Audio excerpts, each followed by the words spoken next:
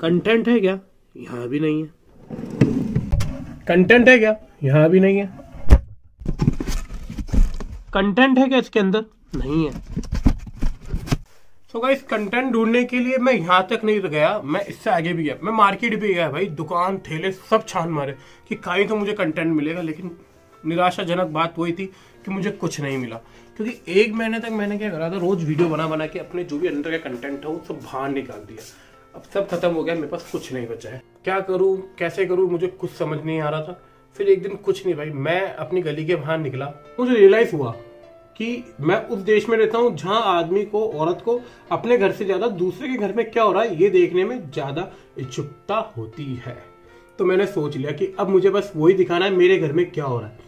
तो मैंने कुछ नहीं किया, उठाया अपना मोबाइल और ब्लॉगिंग कर दी स्टार्ट तो दिखाने को तो अब मैंने एक पेरा अपने बारे में सब कुछ दिखा दिया, लेकिन उससे क्या हो रहा था कि वीडियो के अंदर कोई भी ज़्यादा मज़ा नहीं आ रहा था, कोई कंटेंट ही नहीं था ना लोगों मेरे को दिखाने के लिए।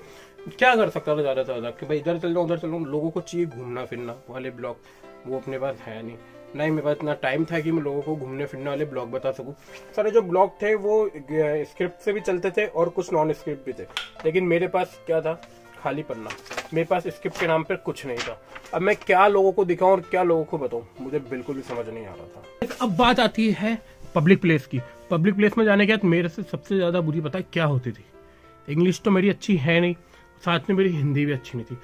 तो सेम मेरी मेरी हिंदी इंग्लिश और मेरी ब्लॉगिंग तीनों की लाइन एक समान थी। अब मैं करूँ क्या? भाई, बहुत शर्म आती थी वहाँ जाने के बाद। मैं मैं अपना स्टैंड लेके जाता था मोबाइल का और जो मोबाइल है वो लगाता था। और चल्लू होता था, लेकिन उससे भाई मतलब चल्लू करने से पहले मैं बंद करता था, सब और रख देता था। आगे कुछ नहीं होता था।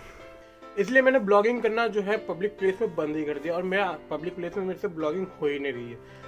ठीक है इम्प्रूवमेंट कर रहा हूँ अपना अपना धीरे धीरे आप लोग भी अगर ब्लॉग करते हो तो नए हो तो मेरी तरह जो लोग हैं, वो भी ये वीडियो अगर आप देखोगे ना तो आपको समझ में आएगा, जो आप लोगों के साथ बीत रही है ना भाई, वो मेरे साथ भी बीत रही है। सेम यही चल रहा है, और हो सकता है जो पहली बार जो ब्लॉग कर रहे हैं, ब्लॉगिंग करते हैं, उनके साथ भी यही होता होगा। मुझे नहीं पता भाई, मेरे साथ तो ये सब होता है। बहुत ही ज़्यादा शर्म अंदर से मतलब निकलती है।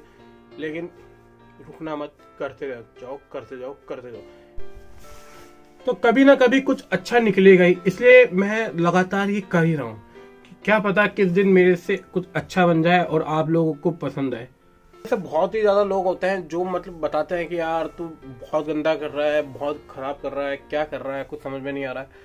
लेकिन मैं उन लोगों को एक ही बात कहना चाहता हूँ, भाई, सिर्फ़ एक ही काम करना है, फ़ोन उठाना है, कैमरा ऑन करना है और सिर्फ़ चार लाइनें कैमरे के सामने बोलनी है। खुद के बारे में बोलना है, किसी के बारे में बोलना। और बस बोलते टाइम तुझे ये ध्यान होना चाहिए कि ये चार लाइनें यूट्यूब पर या कहीं भी अपलोड हो सकती है। समझ रहा है? हवा निकल जाएगी भाई, हवा। इतना इजी नहीं है ये सब करना।